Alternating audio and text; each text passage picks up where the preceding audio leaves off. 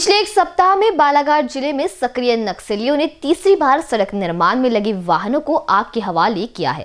ताज़ा मामला दक्षिण बहर के अति नक्सल प्रभावित बिटली चौकी अंतर्गत आने वाले पथरी मार्ग की है, जहाँ 15 से 20 बंदूकधारी नक्सलियों ने मंडवा गाँव के पास बंद रही टायर रोड में लगे डामर प्लॉट, रोड रोलर और जेसीबी मशीन में आग लगाई है। साथ वहाँ काम कर रहे मजदूरों से मारपीट कर भगा दिया तथा उनके मोबाइल भी छीन लिए। घटना कल रात करीब 10 से 11 बजे की बताई जा रही है। नक्सलियों ने घटना स्थल के आसपास बैनर पोस्टर भी लगाए हैं, जिसमें बीते महीने महाराष्ट्र के गढ़चिरौली में पुलिस मुठभेड़ में मारे गए साथियों की याद में 10 दिसंबर को महाराष्ट्र, मध्य प्रदेश और छत्तीसगढ़ बंद को सफल बनाने लिखा गया है।